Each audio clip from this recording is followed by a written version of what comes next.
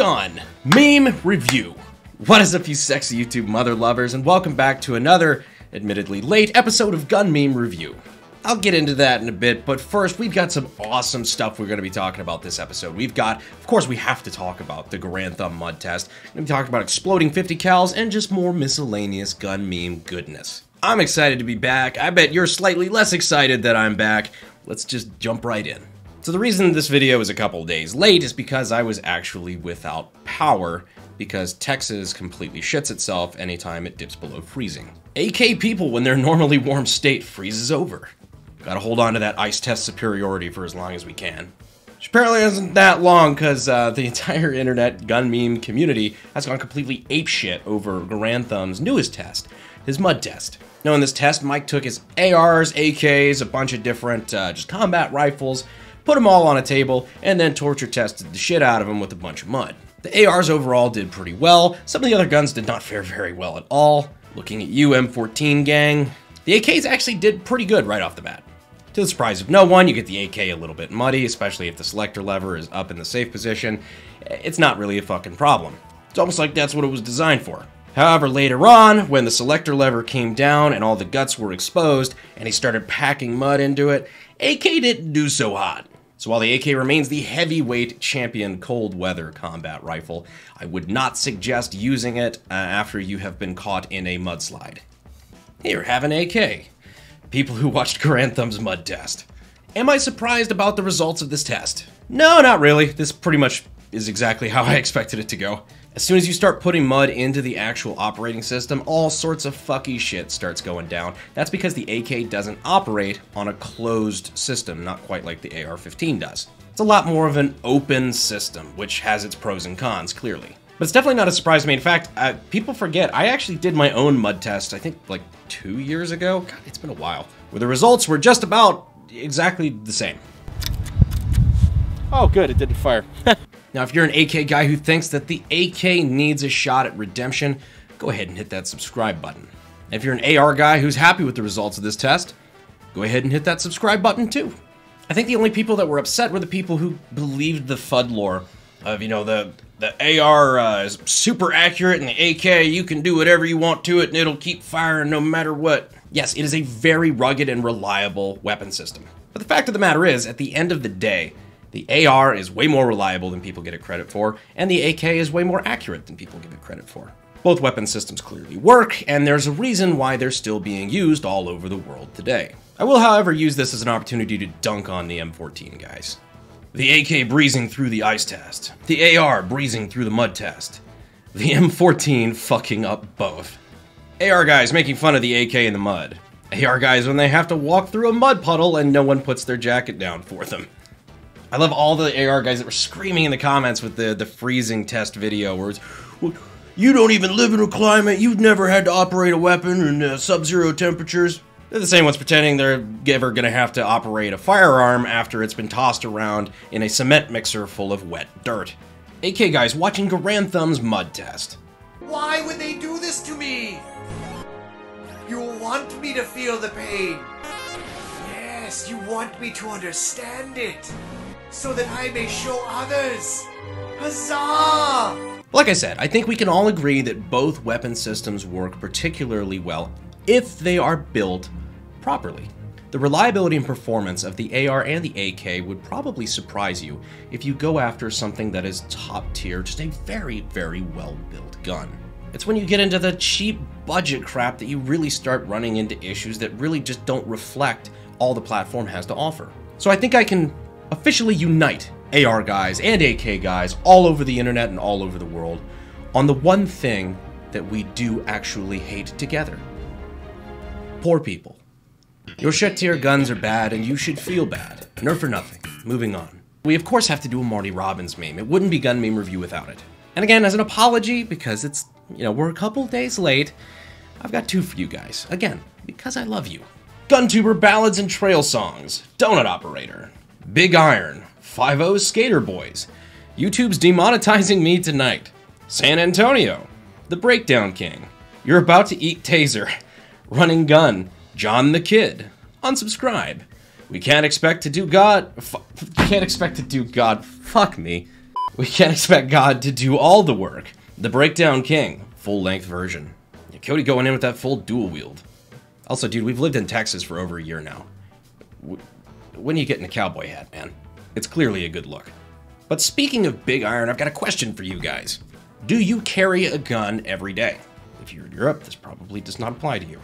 I know I do. Uh, well, you know, I try to. Good habits, you know. But if you carry a gun, I would highly suggest checking out USCCA. USCCA is the United States Concealed Carry Association. Awesome group, big supporter of the channel. Their whole deal is trying to give you the training, tools, and education for you to feel comfortable carrying a gun every day. Great group, that makes stuff like this possible, so I wanted to go ahead and leave the links down in the description and in the pinned comment for you guys to check out. Now to the other Marty Robbins meme. Ghetto AK-50 ballads and trail songs.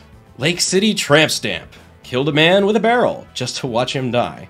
Two-way ballistics. Orbital dust cover blues.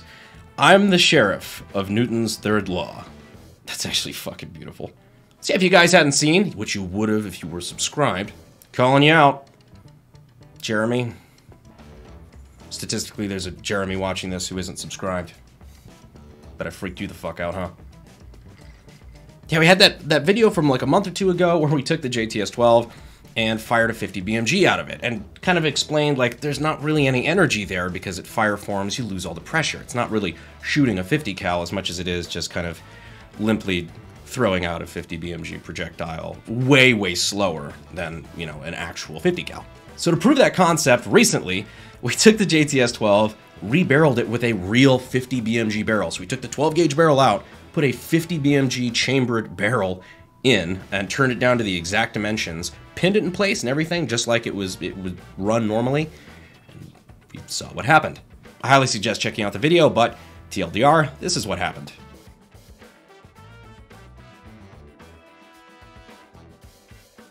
The, the dust cover got blown off. It completely sheared off, blew off the top of the gun, uh, and flew 50, 60 yards away, which thankfully Eli was on it. He watched where it fell, was able to retrieve said dust cover. I would like to thank him for his service. I mean, his Purple Heart's cool and all, but I mean, this was a real service.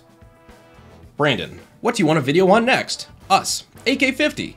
Brandon, how about literally anything else?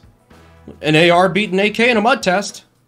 Brandon, we have AK-50 at home. Yeah, hopefully we'll have more time to start working on the, the AK-50 V3 again. We've had a couple of projects that we've been working on that you guys have been asking for. Trust me, I see it. Like I said, I'm a man of my fucking word. I say we're gonna have a Looty, we're gonna have a fucking Looty.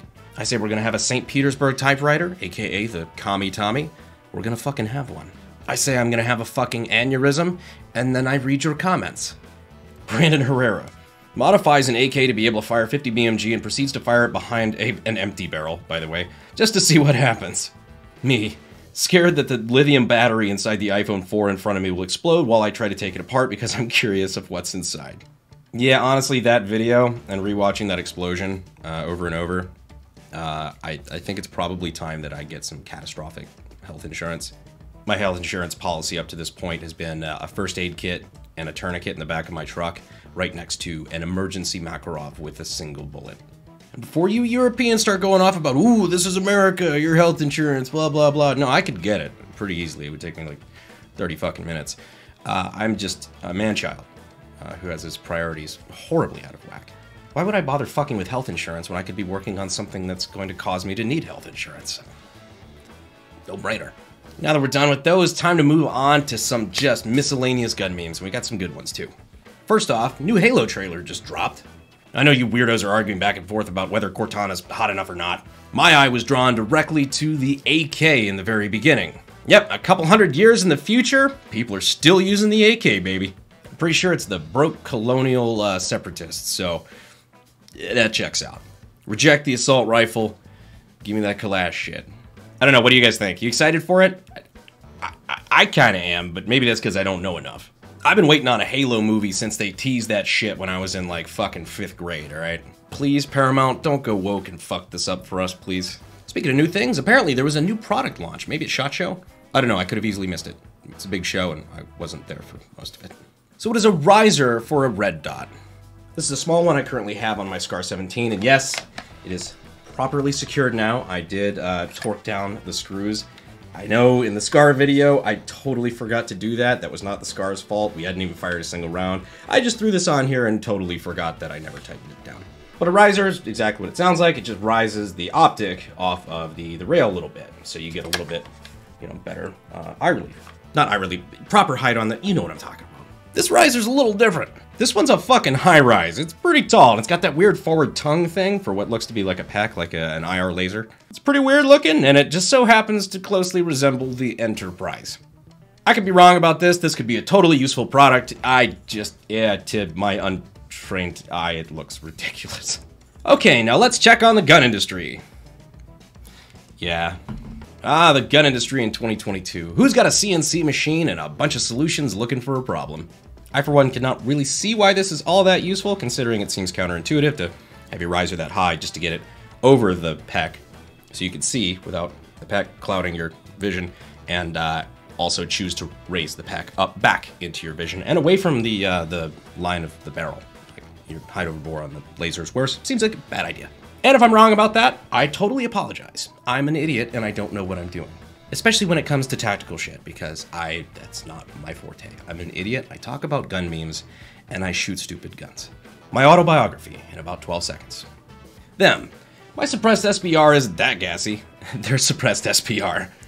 Yeah, especially some of your 5.56 guns that are super short with a can. That shit'll have you thinking somebody's cutting onions after a couple rounds. But hey, shooting suppressed is still, you know, Chad shit. Helps mitigate the the big E you can't just go into the woods with nods, a case of White Claw, a box of condoms, and a boombox blasting Careless Whisper and expect to find a Wendigo you can fuck. Me. Well, first of all, through God, all things are possible, so jot that down. I will say if you go out into the woods with uh, nods, a case of White Claw, a box of condoms, and a boombox blasting Careless Whisper, you're gonna find something that you're gonna fuck. Also, the Wendigo memes are coming back. Didn't see that coming, but not upset me and my FBI agent going through my meme folder that has me scheduled for imprisonment. you know, you know some of those motherfuckers looking through this shit think it's funny too. It's fuck because I, kn I know some legitimately good people, some nice people working uh, at the ATF, and like just the non-dickheads, right? You know, your average everyday Joe, the non-dog shooters. I know for a fact there's a couple of you guys that are watching, and I'd really like to know what's going through your head when some of the ATF memes pop up. Is it just kind of one of those, yeah, PR for the Bureau ain't great. Also, if you do work with the ATF, first of all, hi. Second of all, please tell your superiors that they can kiss dick. I've slept with two former presidents. I speak four languages and I own two Monets. Monets? I don't fucking I don't remember. I even watched that movie, I don't remember. I mag dumped into some trash today. Not to brag or anything, I'm, pretty good at that. Just make sure you're mag dumping into trash in rural environments and not urban environments. Because uh, in some big cities, you start mag dumping into trash in an alleyway. Um, yeah, it might start leaking. That's where homeless people sleep. Wow, that's an old photo of me. Hey Matt, I bet you can't tell me something that will make me happy and sad at the same time. The AK is about to win a world war. Yeah, the whole Ukraine thing is not going away, is it? Pretty sure we included that in a GMR back in like December, and shit is just continuing to get hotter. I don't have shit against anybody living in Ukraine, and I don't have shit against anybody living in Russia. Could we all ask our governments to like stop instigating World War III? Because uh, I don't know you, really don't want to have to get drafted and shoot at you. Would love to avoid that whole situation. I think that would be awesome. Yeah, things just keep getting hotter. In fact, uh, Ukraine actually just invited Kyle Rittenhouse to guard their border. If your country's border ever gets attacked by violent repeat offender felons, then well, yeah, he's your guy. Honestly, I think this entire Ukraine Russia bullshit is just a big publicity stunt. All they're trying to do is get people hyped for when Ukraine 2 drops. Anyhow, I think that just about wraps things up for this episode of Gun Meme Review. Make sure you're still subscribed. YouTube's been doing that weird sub purge thing again where it's unsubscribing people. So if you see in this video, make sure that you are subscribed so you can keep watching great B-list content like this. Anyhow, I appreciate you guys as always for watching to the end, and I will see you sexy YouTube mother lovers in the next video. Thanks, guys.